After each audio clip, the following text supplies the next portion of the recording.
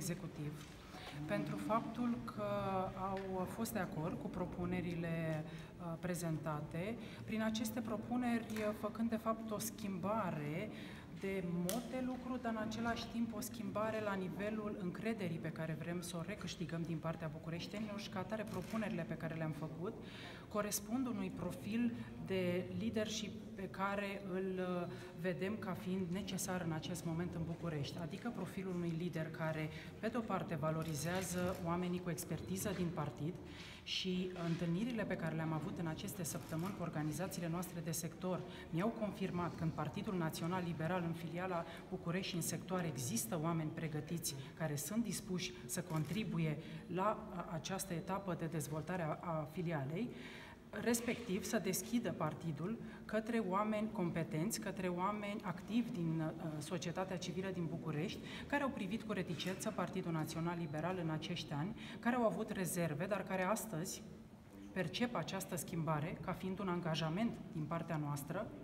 cum că îi vom asculta, cum că vom prelua toate ideile bune pentru București și vom transforma această capitală într-un oraș civilizat în care să ne facă plăcere să trăim, să muncim, să ne creștem copiii. Prin urmare, cu acest mod de a privi lucrurile, cu o nevoie evidentă de a recredibiliza echipa Partidului Național Liberal în relație cu societatea civilă și cu toți bucureștenii care merită pe bună dreptate să aibă oameni competenți în administrație și în politică, am uh, cerut încrederea biroului executiv pentru următoarea echipă cu care voi lucra cot la cot și eu și colegii mei din organizațiile de sector. Pentru sectorul 1 l-am propus pe Sebastian Burduja, un uh, om în a cărui spirit de echipă, uh, în al cărui spirit de echipă cred total. Este un om care a reușit să construiască o rețea de oameni cu studii solide în străinătate, cu aplecare către problemele comunității, este vorba de echipa PACT, și care știe să insufle oricărei echipe din care face parte dinamismul și încrederea că se poate. Sebastian Burduja este cel care are și experiență politică, candidat și a avut un scor foarte bun ca independent în Neamț. Este un om care știe campaniile politice din București și este un om care îi pasă de comunitate și lui și echipei pe care uh, a propus-o în, pe care a propus-o să alăture Partidului Național Liberal. I-am cunoscut colegii, sunt toți oameni cu care sunt convinsă că vom uh, propune uh, bucureștenilor un program politic la care de-al lucrăm intens prin consultări active de care uh, bucureștenii, uh, prin care bucureștenii să se asigure că, într-adevăr, am înțeles ce am greșit, am înțeles ce, nu func- ce n-a funcționat și ne îndreptăm și vrem să facem treabă bună. Pentru sectorul 2, am cerut încrederea biroului executiv pentru un om absolut deosebit. Este vorba despre doamna profesor Monica Anisie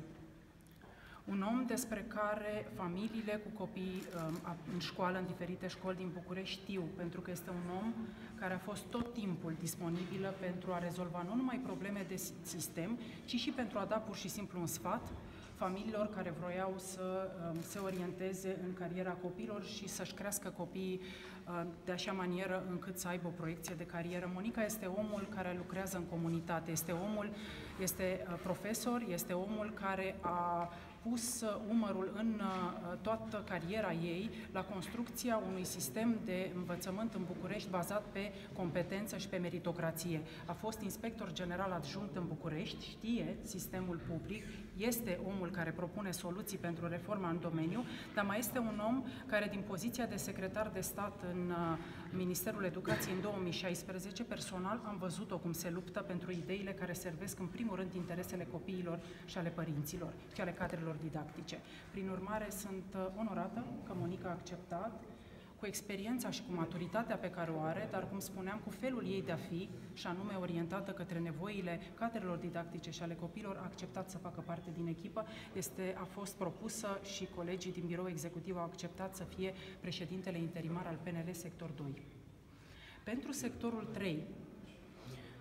având în vedere nevoia pe care o resimt de a, mă, um, de a mă sprijini și de a face echipă cu colegi cu experiență în partid, cu colegi care au trecut prin um, toate etapele construcției filialelor, dar și a campaniilor electorale. Un om care înțelege problemele de infrastructură, pentru că ne vom aplica cu atenție asupra acestor aspecte în propunerile noastre legate de uh, programul politic al Partidului Național Liberal pentru anul viitor. Propunerea pe care am făcut-o biroului executiv este pentru domnul Antonel Tănase. Domnia sa conduce în acest moment Comisia de Specialitate în Infrastructură și Transport a Partidului Național Liberal. Este un om pe care l-am văzut capabil să aducă în jurul mesei oameni cu expertiză, să, uh, să le îmbine acestor așteptările și să uh, scoată din, uh, din toate contribuțiile oamenilor cu expertiză o propunere coerentă de politică publică, în cazul de față în transporturi și văzându-l cum lucrează și văzându-l cât de atent este la expertiza colegilor noștri, am toată încrederea că același lucru, și anume va lucra cu colegii care vor să, să pună umărul, să facă treabă în filiala noastră din sectorul 3, dar va ști să adune alături oameni uh, cu uh, experiență tehnică din societatea civilă și să reconstruiască echipa noastră de la sectorul 3. Pentru sectorul 4, am optat pentru un om